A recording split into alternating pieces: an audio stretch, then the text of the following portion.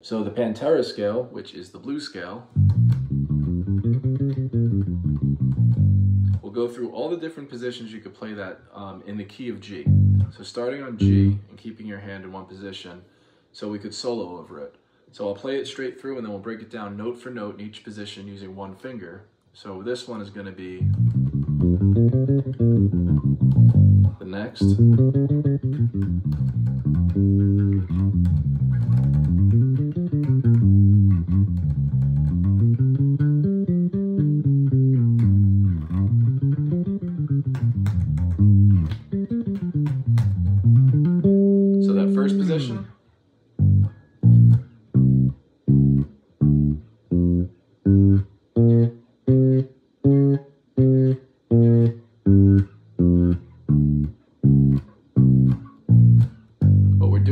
Playing the scale and then just continuing.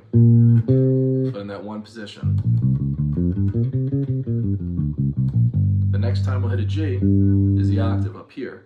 So to take that same pattern, a little bit of a cheat code is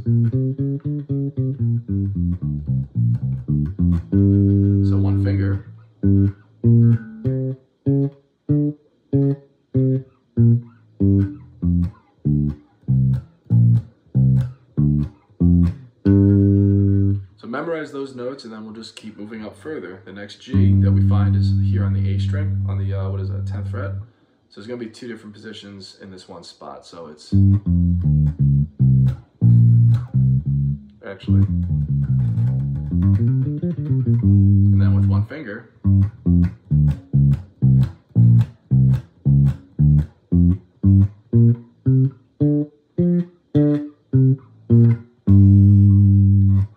instead of coming down here, we're gonna ascend up, kind of a little bit of a shift. So it would be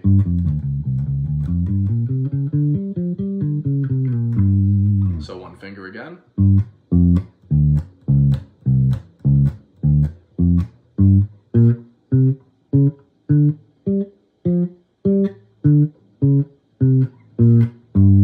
Again, those are just the notes, kind of playing around with it. Um, two more positions to go through. So here, the original first position, we're just coming down lower. So with one finger, starting on G. And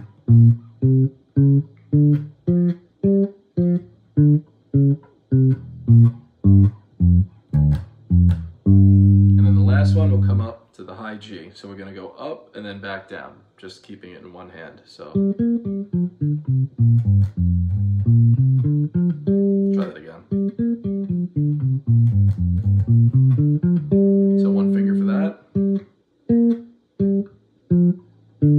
So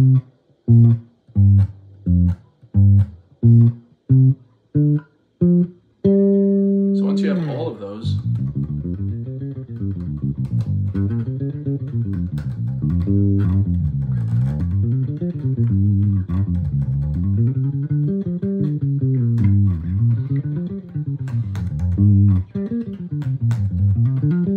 you can start connecting them. So if you wanted to just start riffing on something, an old one that I've come up with, for example, would be.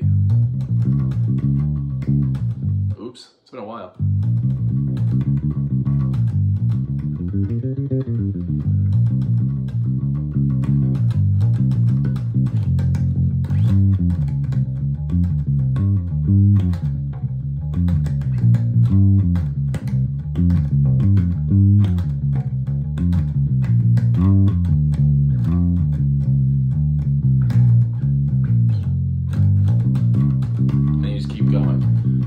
Is, memorize those positions, and then as you're playing, you could really just fill in the dots. Up here was another one.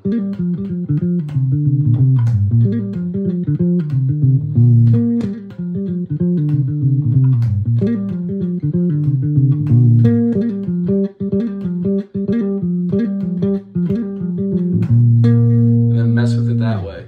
Um, there is no rule to it whatsoever. Try to stick with just those notes though. That's, I guess, if you wanted to make a rule, because there is freedom through constraint, which is a weird one to say. But if you're just playing G blues, those are going to be the notes that are all in that scale. So um, have fun with it. Any questions, leave it in the comments, and I'll see you on the next video.